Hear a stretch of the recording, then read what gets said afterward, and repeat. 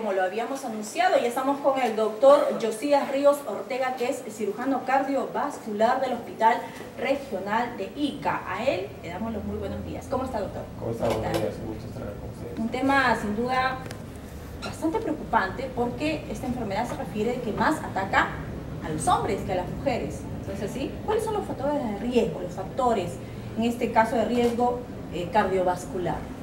Bueno, eh, si tendríamos que dividir a la enfermedad cardíaca, básicamente la enfermedad del corazón, tendríamos que dividirla en los males congénitos y los males adquiridos. Los males congénitos son con los que el niño o la niña que ha recién nacido, ya valga la redundancia, nació con esos defectos, esos defectos congénitos de la formación del corazón dentro del embrión de la mamá. Entonces, esas malformaciones congénitas que nosotros llamamos cardiopatías congénitas se desarrollan durante el crecimiento del niño y al final dan molestias. Entonces, son los, al final uno tiene que, algunos casos, entrar en cirugía y reparar esa malformación del corazón. Y los males adquiridos son los que nosotros vamos eh, recibiendo o cogiendo con el transcurso de la vida. Uno de los males adquiridos más frecuentemente es la, enfermedad coronaria. Es muy común ver que las personas tienen angina de pecho o han tenido algún problema de infarto. ¿no? ¿Y esto por qué se produce? Las anginas de pecho que son las más frecuentes. Así es. La angina de pecho se produce porque hay una obstrucción en la arteria que lleva sangre al corazón. Nosotros tenemos dos arterias coronarias, la coronaria izquierda y la derecha. Cuando alguna de ellas o alguna de sus ramas de estas arterias coronarias tienen alguna obstrucción, se produce un déficit de sangre hacia el corazón. El corazón es un músculo que para bombear necesita sangre cuando las arterias que nutren ese músculo se obstruyen y la sangre deja de llegar o de, llega en forma insuficiente, se produce dolor de pecho o el infarto. Hay muchos factores de riesgo. Principalmente eh, contamos con la edad. A medida que avanzamos en la edad, mientras más viejos nos ponemos, mayor riesgo de tener un infarto tenemos.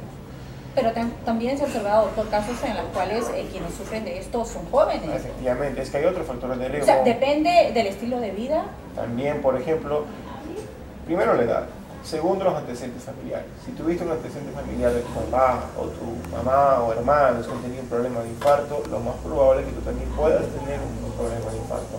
Otros factores también son la hipertensión. Si eres hipertenso, que no controlas tu presión alta, las arterias del corazón, como todas las arterias del cuerpo, se van a envejecer y por tanto van a producir infartos. La diabetes mellitus, una diabetes mal controlada que no está siendo bien llevada por un endocrinólogo y que la glucosa tiene picos de 500, 400, es más probable que tengas este, también un mayor riesgo. Bueno, en el tema de los pacientes, ya que lo tocó, en el tema de los pacientes diabéticos, por lo general cuando tienen alguna impresión, ellos sienten muchas palpitaciones. Esto es porque se le ha elevado la presión o sufren de hipertensión. De por sí, eh, como nosotros llamamos una impresión que podría encajar dentro de lo que es un síndrome ansioso, quizá dentro de un síndrome conversivo, que el paciente está tenso, colérico, ¿no? y se liberan unas hormonas que se llaman catecolaminas, de por sí las hormonas producen taquicardia. Como uno, a cualquiera no puede suceder, ¿no?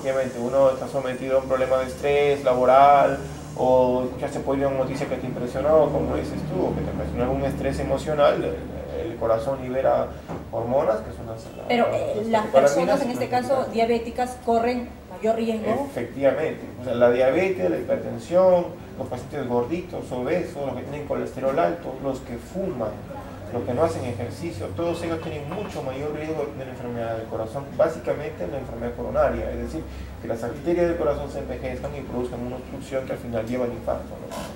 Y esto se presenta con algunos síntomas porque de repente yo puedo pensar que tengo el corazón sano, porque no me duele, sin embargo de un momento a otro, de repente con alguna impresión, qué sé yo, puede desencadenarse alguna enfermedad coronaria.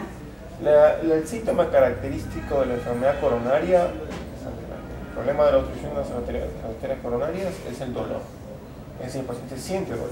Uno camina, el paciente está sentado, no pasa nada, pero empieza a caminar y al caminar el corazón bombea más fuerte, porque al caminar hace ese ejercicio. Entonces requiere más uso de sangre. El corazón entonces bombea y bombea más fuerte. Como lo eh, exiges al corazón a bombear más sangre, va a requerir también el corazón de más nutrientes para poder funcionar bien.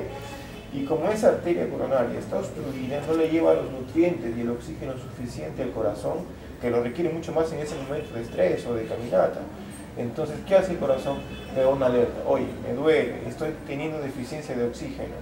¿Qué pasa? Sientes el dolor, la angina del pecho, la opresión en el pecho. Los pacientes lo describen como una opresión, como si le estuvieran estrujando, apretando el pecho. Y es un dolor en el pecho que se, generalmente se irradia al brazo izquierdo y a la mandíbula. El paciente deja de caminar, se sienta, reposa y el dolor cede. Es distinto a otros tipos de dolores de pecho, que el paciente, por ejemplo, está relacionado al movimiento. Cuando uno se mueve, hace un tipo de jalón o estrés eh, con, los, con, los, brazos y le duele el pecho. Eso más va a estar relacionado a otro tipo de dolor, que es el dolor torácico muscular o, problemas en, los huesos, qué sé yo. El común es la angina, pero también hay otras enfermedades como la arritmia, ¿no? Efectivamente, si hay pacientes que debutan con arritmia cardíaca, que no, el síntoma característico es el dolor de pecho, la angina. Hay otros que debutan con otro tipo de molestias, como la, fibrilación auricular, que es una, arritmia cardíaca, o algunos que hacen paro, están caminando y hacen muerte súbita, paro cardíaco, o arritmias malignas, como la fibrilación ventricular, la taquicardia ventricular, que son arritmias que eh, ponen en riesgo inminente de vida al paciente, si no tienen un tipo de soporte médico, de ayuda médica al instante. ¿no? La ayuda tendría que ser de inmediato, para salvarle la vida. Efectivamente. Caso contrario, tienes que hacer animación cardíaca. En caso de tengas arritmia ventricular maligna, o sea, taquicardia ventricular y la, la fibrilación ventricular, que prácticamente es un paro cardíaco. ¿Y cómo se podría ayudar a una persona que está pasando por un síntoma, de este caso, paro cardíaco? O sea, ¿yo cómo, qué podría hacer si lo estoy viendo que está muriendo? Eh, si no estás entrenada en hacer reanimación, lo más lógico es que lo lleves inmediatamente a un centro donde le puedan dar reanimación cardíaca o en todo caso buscar entre la gente que esté alrededor tú dices que alguien sabe hacer reanimación cardíaca. Si por ahí hay un enfermero, médico o bombero, los bomberos están muy entrenados en esto. ¿Y, más o menos cuál sería el tiempo que me restaría para poder ayudar a esta persona? El paro cardíaco tiene cinco minutos para poder recuperarla sin que deje secuela. Y cuando una persona pasa por un paro cardíaco, ¿qué daños sufre su corazón? Mm, básicamente si has tenido un paro cardíaco y lo has reanimado después de los 5 minutos, el que más va a sufrir va a ser el cerebro. Porque el corazón al final recupera, puede recuperar, pero el problema es el cerebro. O sea, como le ha dejado de llegar sangre al cerebrito, el cerebro deja de funcionar. Son 5 minutos que tienes para que el cerebro pueda recuperar su función. Y los daños serían. A veces el paciente no despierta. O sea, tienes el corazón funcionando bien, lo recuperas y el paciente nunca recuperó porque el cerebro quedó completamente dañado. O a veces hay pacientes que quedan en estado general. Las principales, los principales daños que puede dejar un paro cardíaco. ¿Qué otras enfermedades cardiovasculares tenemos? Básicamente, en ICA es muy prevalente, en algunos casos, la enfermedad reumática. En algunos pacientes, que tienen enfermedades crónicas de la garganta, de la niñez, hay niños que sufren mucho la garganta, que se infectan la garganta por, perdón, por bacterias que ocasionan mucho daño. A veces esas bacterias en forma secundaria pueden afectar también válvulas del corazón y producir lo que nosotros conocemos la enfermedad reumática o fibra reumática del corazón. Y se caracteriza principalmente porque las válvulas del corazón se dañan, se calcifican, se fusionan bueno, sobre todo en esta época del año hay muchas personas que sufren de la garganta y eso es continuo, infecciones con fiebre y todo eso. Eso a la larga, infecciones repetitivas pueden condicionar daños en las válvulas del corazón. Bien, vamos a recibir la primera comunicación telefónica. Estamos hablando acerca de las enfermedades del corazón. ¿Cómo está? Muy buenos días, lo escuchamos. Buenos días, buenos días doctor. Buenos días. Eh, buenos días, tengo una preocupación. Yo tengo un sobrinito que es intestino según el médico refiere que él ha nacido con el corazón o incompleto de cerrarse, ya tiene un, orificio al corazón que él padece de, nacimiento. Y ya se lo ha llevado al hospital de Niño, Lima, y dicen que no se le puede operar porque es un negocio y posiblemente tenga poca este, tiempo de vida. Y no sé qué enfermedad es eso, no puede explicar. Eh, claro, las enfermedades congénitas del corazón se pueden dividir en dos, en enfermedades congénitas cianóticas y en acianóticas. Las cianóticas se manifiestan principalmente porque el niñito tiene una coloración azulada de las, de las mucosas del cuerpecito. Y las no cianóticas o acianóticas, como las llamamos, son aquellas en que el paciente no tiene esta coloración. Generalmente las enfermedades congénitas acianóticas son las más fáciles de tratar, de corregir quirúrgicamente. Dentro de ellas está principalmente la persistencia del conducto arterioso, la comunicación interauricular y la comunicación interventricular. Yo asumo que en el Hospital del Niño, que tiene muy buenos especialistas, conozco ahí muchas, muchas personas, está otra el doctor Espinosa, que son muy buenos médicos, cirujanos, cardiólogos, son muy buenos cardiólogos pediatras. Muy buenos y reconocidos. Efectivamente, yo creo que en el caso de su familiar, lo más probable es que tenga una enfermedad al corazón congénita compleja. Entonces, en esos casos eh, es muy, muy riesgoso operar a los pacientes, principalmente niños recién nacidos, es de alto riesgo. Eh, habría que someterlo a una buena evaluación para ver qué es lo que tienen específicamente ¿no? y ver si se puede corregir quirúrgicamente. Eh, bueno, en, el centro de Informé, donde yo sigo laborando en el Instituto del Corazón, en el ICOR, todos los días se operan pacientes que tienen enfermedades congénitas complejas, realmente complejas, que se pueden salvar. Eh, sería bueno que quizá alguno de los médicos del Instituto del Corazón, de los cardiólogos de allá, cardiólogos pediatras, lo evalúe al pequeño para ver qué específicamente tiene, si es una malformación que se puede o no se puede corregir. es bueno de repente buscar también otras opiniones. Efectivamente, que yo, tengo mucha, mucha confianza en los, cirujanos de torácica cardiovascular del hospital igual los cardiólogos de ahí son muy buenos. Eh, si han encontrado algún tipo de contraindicación para operarlo es porque probablemente tenga alguna malformación congénita compleja que requiera pues, de, mayor consideración. Muy bien, vamos a recibir entonces la siguiente comunicación telefónica al 256735. Si usted desea participar, realizar alguna consulta sobre el tema que estamos tratando, que es la enfermedad al corazón, lo puede hacer con mucha confianza. Aló, muy buenos días, lo escuchamos. Buenos días. ¿Tiene alguna dirección para poder este, llevar al, paciente directamente a su consultorio para poder hacer la pregunta mejor directamente y poder explicar mejor? Claro, eh... es una preocupación de verdad, es un mal concepto si es cierto, el médico lo dijo en Lima y es bien riesgoso una operación para él. Mire, este, yo estoy trabajando ahora en el Hospital Regional Acanica, eh, no estamos en forma diaria, pero sí hay días en que podemos verlo. Lo que yo le sugeriría es que usted vaya al Hospital Regional en la admisión y pregunte los días en que, que tengo la consulta y usted puede sacar una consulta conmigo sin ningún problema, y ahí podemos verla. Muy amable, Toda operación se corre riesgo, ¿no? En toda intervención quirúrgica. Y si hablamos del corazón, pues mucho más, ¿no? Sí, eh, eh, unos tienen más riesgo que otros, evidentemente, ¿no? Si llega un paciente infartado con una emergencia, en shock, que requiere una cirugía de emergencia en shock, la probabilidad de morir es 50%. Estábamos hablando antes de recibir la primera comunicación telefónica, doctor, acerca de los problemas en la garganta, las infecciones que eh, desatan pues hasta fiebres, ¿no? Y que duran casi una semana también. ¿Eso afecta a nuestro corazón? Efectivamente, las infecciones en la salud de las o en la faringe en forma recurrente por bacterias específicas puede condicionar de que se afecten las válvulas del corazoncito y producir lesiones que al final requieran una intervención quirúrgica. Bueno, en ese aspecto tenemos que tener mucho cuidado. Los cuidados justamente usted nos lo va a explicar luego. En breve, vamos a recibir la siguiente llamada telefónica. Aló, muy buenos días. Buenos días, señorita. ¿Puede bajar, por favor, un poquito el volumen de su televisor, por favor? Le vamos a robar para que lo escuche el doctor correctamente, para que podamos de repente entablar una comunicación con usted.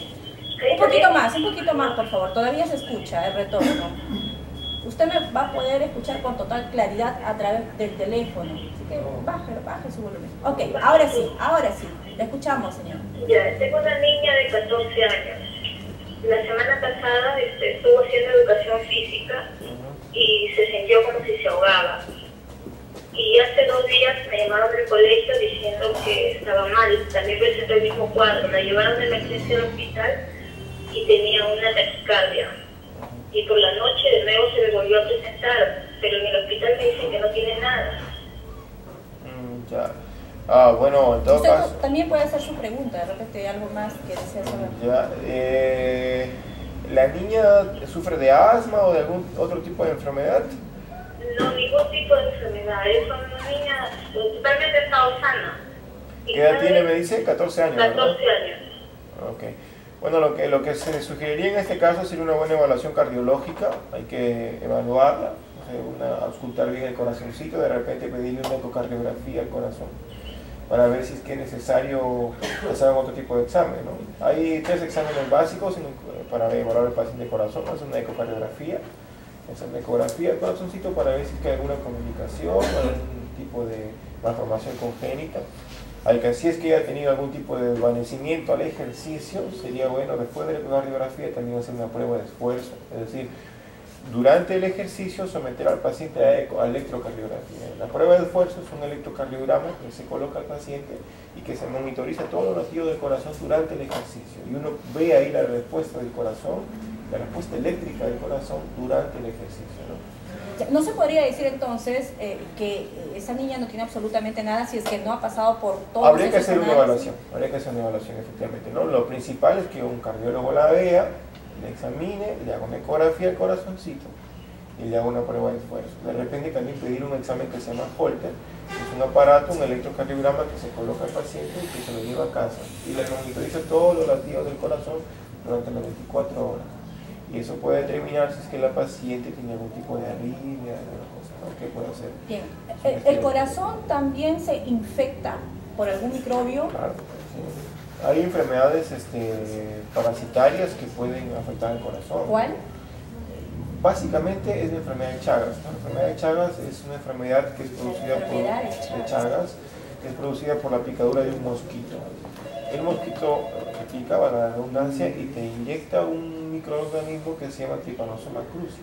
Ese Trypanosoma te produce, aparte de producir otro tipo de alteraciones en el corazón, te produce dilatación de las cavidades del corazón el corazón se agranda. Aparte de eso, también el corazoncito se puede infectar por bacterias. Por ejemplo, aquellos pacientes que usan drogas por vía parenteral, al estar en constante eh, contacto con jeringas contaminadas, agujas contaminadas, las bacterias circulan por el torrente sanguíneo y al final llegan al corazón y lo infectan.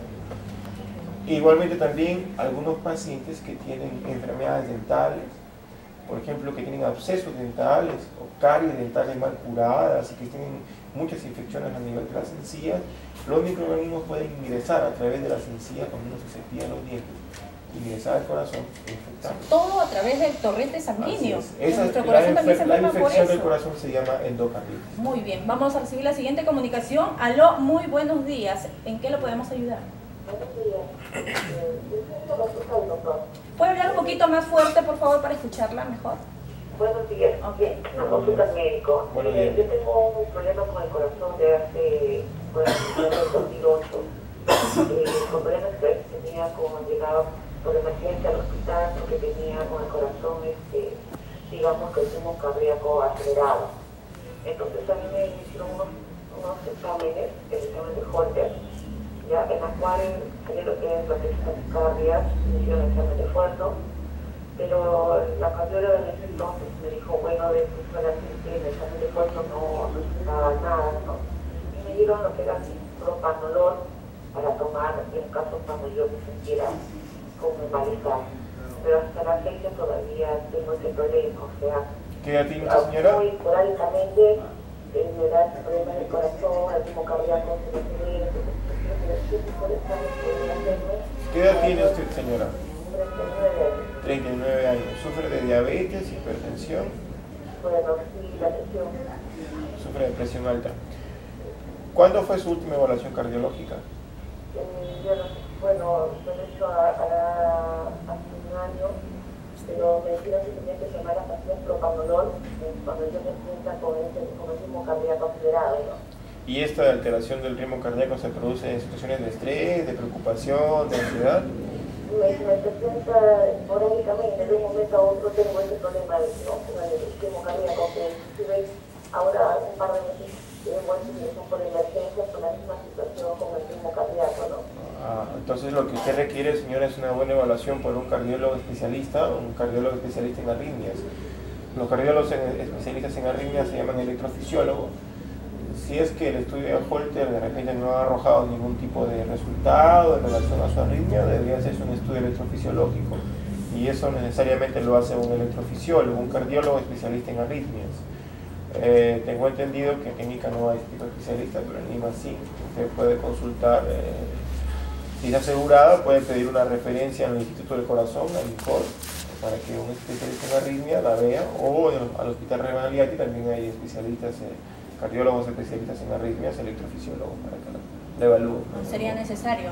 Si es que no se llega a un diagnóstico y la señora sigue con este tipo de taquicardias sin ningún tipo de motivos. Bueno, hay gente que no cuenta con los suficientes recursos económicos, cuando tiene estos problemas se va al médico o a la posta de salud más cercana y quien lo evalúa no es un cardiólogo, sino un médico general. Entonces de repente le da una pastilla para el dolor y lo regresa a casa. Eh, según tengo entendido, la señora le ha visto un cardiólogo, le han hecho un Holter y le han hecho algún tipo de examen. no, en otros casos ocurre lo que le estoy mencionando, ¿no? Que por falta de dinero no se lleva un buen eh, tratamiento. Efectivamente, es una cuestión de, de, oportunidad de salud y su problema político en nuestro país. Sí, es cierto. Bien, doctor, por otro lado también le quería preguntar por qué las personas también que padecen de tiroides tienen muchas palpitaciones al corazón. Claro, eh, básicamente si hablamos de función tiroidea, las enfermedades que de la tiroides son dos, el hipotiroidismo y el hipertiroidismo. El hipertiroidismo es el exceso de hormonas tiroideas. Las hormonas tiroideas son las que controlan todo el cuerpo, es decir, son las, eh, digámoslo así, las hormonas que empujan a que todo nuestro cuerpo funcione en forma normal. Si tienes hormonas tiroideas normales, tu cuerpo va a funcionar, el metabolismo del cuerpo va a funcionar en forma normal si tienes las hormonas tiroideas en exceso, tu metabolismo va a funcionar más rápido, va a estar acelerado, Y dentro de lo que acelera también es el corazoncito, por taquicardia, por exceso de hormonas tiroideas. Usted refería antes de comenzar la entrevista de que los hombres padecen más de los problemas cardíacos que las mujeres porque las mujeres tenemos una forma de controlarlo, ¿no? No, eh, las, eh, básicamente es en relación a la enfermedad coronaria, es decir, a la obstrucción de las arterias del corazón. Las mujeres mientras están en la edad reproductiva, en la edad de menstruación, los estrógenos que producen ese tipo de, digamos así, de, condición fisiológica en las mujeres tienden a, entre comillas, proteger a las mujeres de la enfermedad coronaria. Es decir, tienen algún tipo de, protección por los estrógenos. Es por eso que en los hombres es más frecuente ver la enfermedad coronaria en hombres más jóvenes que en mujeres jóvenes. Es raro ver en mujeres menores de 40 años enfermedad coronaria, es extremadamente raro. ¿Por qué? Porque los, los, los, estrógenos protegen a la mujer de la enfermedad coronaria. Una vez que la mujer deja de menstruar, se convierte como cualquier hombre más para adquirir la enfermedad coronaria. ¿Cuál es el tratamiento, doctor, para una enfermedad coronaria? De la obstrucción de las arterias coronarias, principalmente tienes que modificar tu estilo de vida, dejar de fumar. Cambiar. Cambiar el estilo de vida, definitivamente. Y si tienes alguna obstrucción coronaria de importancia, requiere la revascularización de esa arteria. Y la revascularización puede hacerse por dos formas una que es colocando stents y la otra es haciendo cirugía. Colocando stents, los, hay cardiólogos especialistas en eso que a través de las arterias del cuerpo colocan unas guías, unos catéteres que llegan a las arterias del corazón y por dentro colocan unos tubitos que se llaman stent que hacen que esa arteria se abra, esa obstrucción se resuelva y la arteria que está obstruida deja de estar obstruida. En cambio, la cirugía, cuando no se puede hacer este procedimiento, hay que abrir el pechito, en los casos en que es una incisión, abrir el esternón, en la mayoría de los casos parar el corazoncito y colocar bypasses, ¿no? que generalmente se utilizan con injertos arteriales o venosos. ¿En qué consiste el bypass? El bypass significa, como su nombre mismo lo dice, bypassear, puentear las obstrucciones. Si tienes una obstrucción de una coronaria, tú tienes que colocar una un conducto, una arteria o una vena que le lleve sangre a esa coronaria. Le lleva sangre. Es decir, yo voy paseo la obstrucción. Eh, si tienes una obstrucción proximal en la coronaria, saco de la arteria aorta, que es la principal arteria del corazón, un conducto que le lleve directamente a esa arteria obstruida sangre, bypasseando la obstrucción. Después que a alguna persona, a algún paciente se le coloque el bypass, ¿hay un buen pronóstico de vida? Si el paciente se cuida, sí. El paciente se cuida, y, eh, cambia su estilo de vida, controla sus factores de riesgo, controla su presión alta, su, su, la obesidad, empieza a hacer ejercicio y todo, y lleva un estricto control médico, la expectativa de vida es buena. ¿Y hasta qué edad por lo menos se podría realizar este tipo de intervención? No hay una edad eh, que uno pueda determinar como contraindicación para hacer bypass. Efectivamente, a mayor edad, mayor riesgo eso no hay duda. Tienes un paciente de 80 años que lo vas a someter a una cirugía de bypass de corazón, el riesgo de morirse es mayor que un paciente de 60 o de 50. Entonces, efectivamente así. Pero la edad no contraindica la cirugía. Es un término de decir, ah, tengo 80 años, ya no me puedo operar porque por mi edad. Mentira. Definitivamente tienes mayor riesgo de morir pero la edad no es un factor que contraindique la operación. Bien, por otro lado, doctor, cuando una persona ha sufrido de un paro cardíaco, eh, eh, la parte del corazón que ha sido dañado, ¿se puede reconstituir, reponer? El corazón infartado no se puede recuperar, pero generalmente alrededor del infarto del corazón hay tejido que generalmente es rescatable. Nosotros le decimos corazón hibernado, es decir, es un corazón que no está funcionando, un tejido que no está funcionando, pero por la falta de sangre que no está teniendo. Entonces, uno le da sangre nuevamente a ese, tejido hibernado que está generalmente alrededor del infarto y nuevamente empieza a funcionar y el corazón recupera la contracción. Y acerca del corazón engrandado, engrosado, ¿qué nos puede decir al respecto?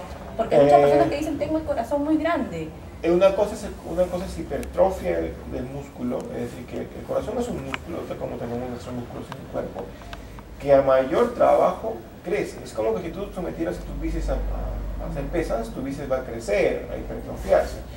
Hay condiciones que hacen de que el músculo cardíaco crezca, engruece o hipertrofie. Y esa es la principal condición de la hipertensión arterial. La presión alta hace de que el, que el corazoncito o el músculo cardíaco crezca, engruese, porque trabaja contra presión alta. Es una condición, la hipertrofia ventricular. Otra condición es la cardiomegalia. La cardiomegalia, que es el corazón grande, es la dilatación del ventrículo. El corazón es una bomba, es una cavidad. Esa cavidad puede crecer, dilatarse por varias enfermedades. En nuestro medio es generalmente por la enfermedad valvular en relación a la enfermedad reumática. Las válvulas del corazón se malogran y por ese daño de la válvula del corazón el ventrículo izquierdo crece, el ventrículo derecho crece y el corazón al final crece. O las aurículas también crecen. Es distinto a la hipertrofia ventricular secundaria, a la hipertensión arterial. Es completamente distinto. Ok, doctor, el mensaje final, porque ya estamos llegando a la parte final, porque quizás hay muchas personas que se preocupan del riñón, del hígado, de otros órganos, pero se olvidan del corazón. ¿Qué le diríamos a ellos? Yo creo que en relación a toda, a toda la la economía de nuestro cuerpo es vivir bien, decir, cuidarse, comer bien, hacer ejercicio.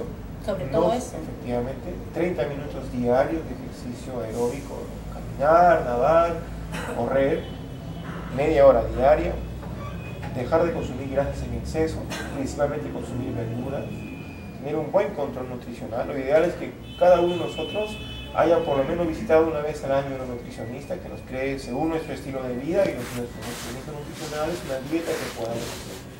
Uno no debe hacer dieta cuando ya está gordo.